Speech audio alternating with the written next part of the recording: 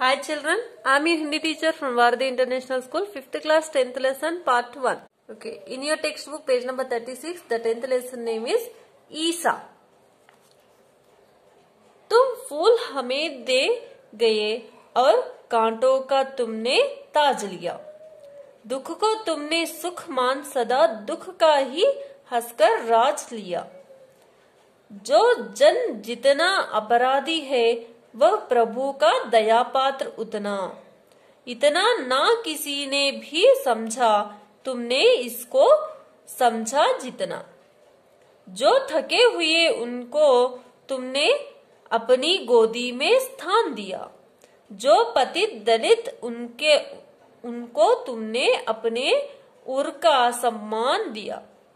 अपनी कल्याण वा, कल्याणी वाणी से तुमने नवयुग निर्माण किया। अपने जीवन की आहुति दे जग के जीवन का त्राण किया।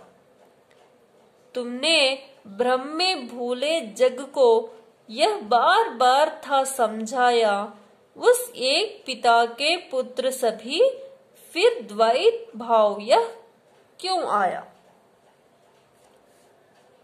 हे मृत्यु तुम्हारे जीवन से बढ़कर या उससे है जीवन। दोनों का तुमको धन्य हुए है।